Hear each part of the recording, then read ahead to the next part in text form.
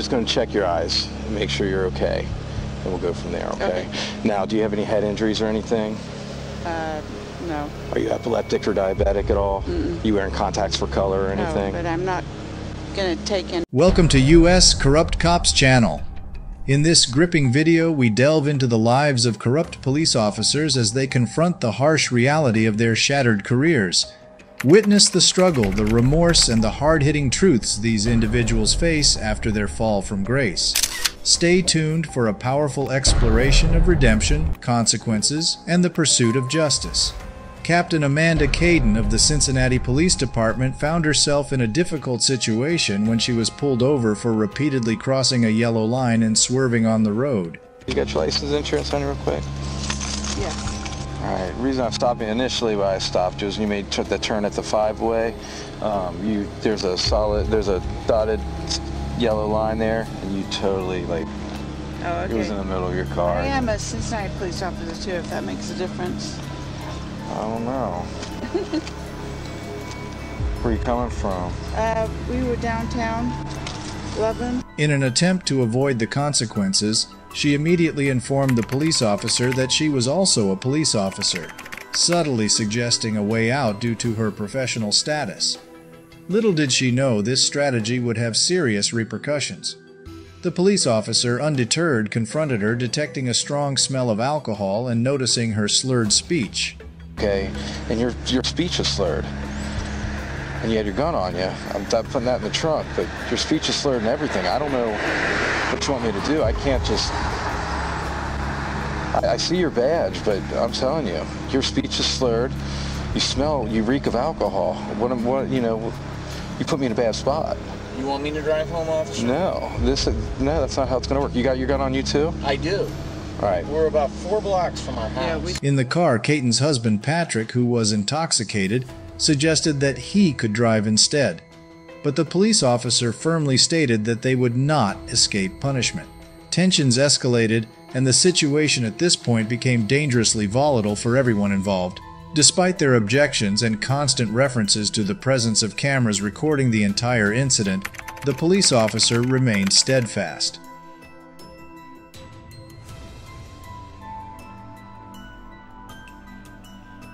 You don't understand the circumstances right now, okay? I don't. You don't. I mean, everything's recorded. I can't. I can't just do nothing now. You guys both reek of alcohol. You were sleeping, passed out, sleeping when I Who pulled you over. I was not. Okay, that's fine. Wide awake, Okay, okay. that's fine. But you, she's slurred and everything. I can't just. No, just. she's not. You oh. do, No. officer. That's you do why. what you gotta that- do. That's why. Yeah, that's why I drove because I was fine. okay. Okay. Well, let's do this. All right. Step Yeah, on out with me and you talk to me, We, we sir. crossed. We crossed a yellow line while we were driving. You do what you gotta do. I, and I, I have to. You understand that? I have to. It's not that I want yeah, to. Yeah, you do. Okay. Hold on to your ID. How long you been a cop? Pat, Pat, stop it. Stop. Sir, you've got your gun on you and you're intoxicated too. I am don't. not. Don't. I am not. Pat. She just said you were. That's why she drove No, home. she didn't. She said that's why she drove No, home. I said. I, no, no. she drove home because she's not intoxicated. You do what you gotta do. Well, here's now. Now here's the problem. Two is that you've got your gun on you. Where's that at? It's on my hip. It's on your hip. Okay. All right. Miss Amanda, step out with me real quick. Okay. Just talk to me real quick, and we'll go from there.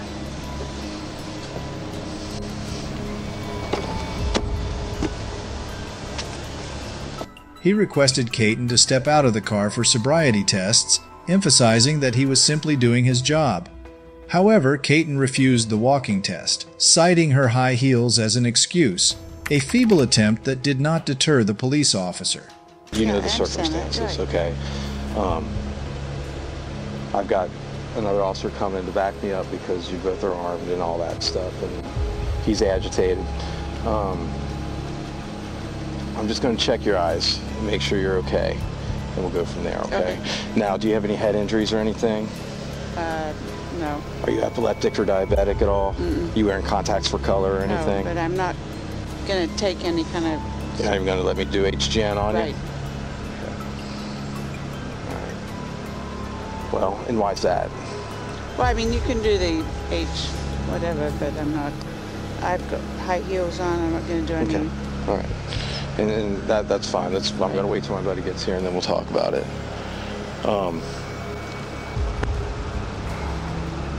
regardless, I'm not charging you for the gun. What? Regardless, I'm not gonna charge you for the gun. Okay? I'm not gonna do that to you. I mean, stay right here. Throughout this challenging period, her husband, still inside the car, remained drunk and armed, making the situation even more precarious for everyone. This time, now I'm gonna start the test. I just made sure your eyes were uh, tracking equally. All right.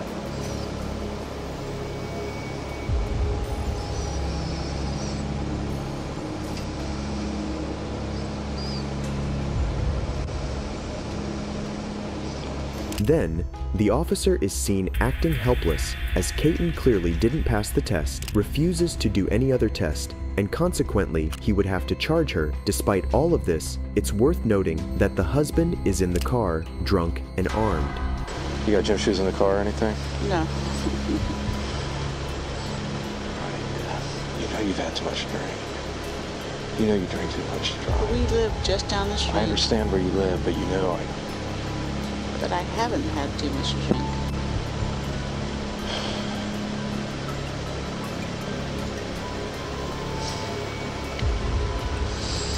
Follow us home if you want. I mean, Well, you're at Cindy's.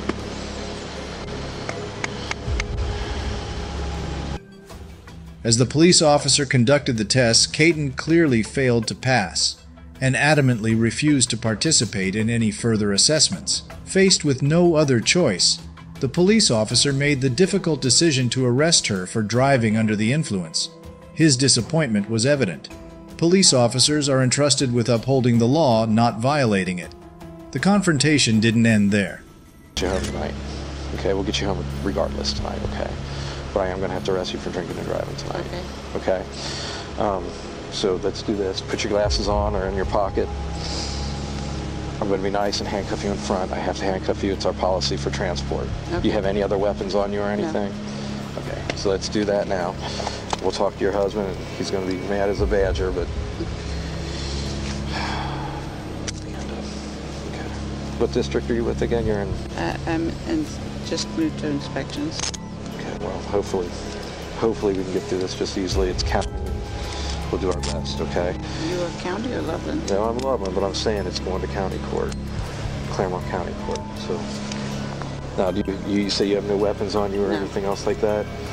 Okay, I'm going to advise you of your rights, just as I would anybody else. Okay, you have the right to remain silent. You understand that?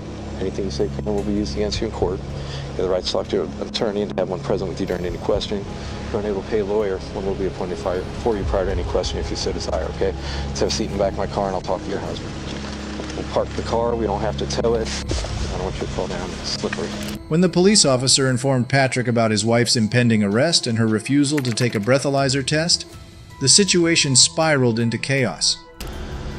Are you kidding me? No, don't keep your hands where I can see them Well, for you. Because you said you have your knock gun on you. Hey, Knock it off. I'm, dude, I'm, I'm doing the best under the circumstances. Okay. You're you're starting this whole traffic stop because we crossed a double yellow line while making a left-hand turn. Well, a couple times, but that's the one that uh, drew my attention to her, and that's what I was telling her. Okay.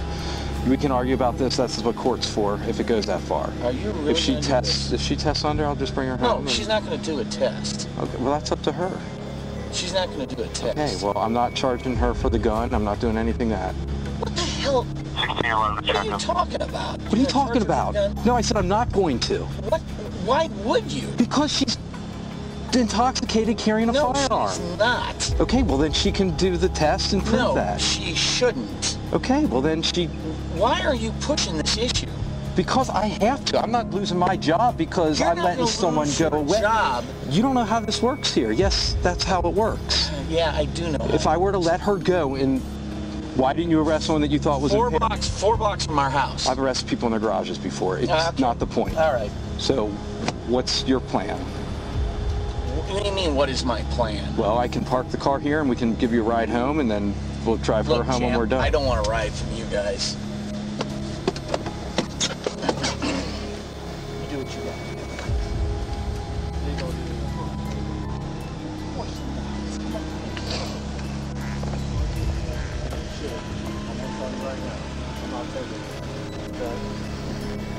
Patrick chose to walk away, leaving the scene entirely. Ultimately, Caton was charged with OVI refusal and centerline violation, facing the legal consequences of her actions. This incident serves as a stark reminder that not all instances of law enforcement officers resisting arrest involve alcohol. Sometimes it's the very individuals tasked with upholding the law who find themselves on the wrong side of it.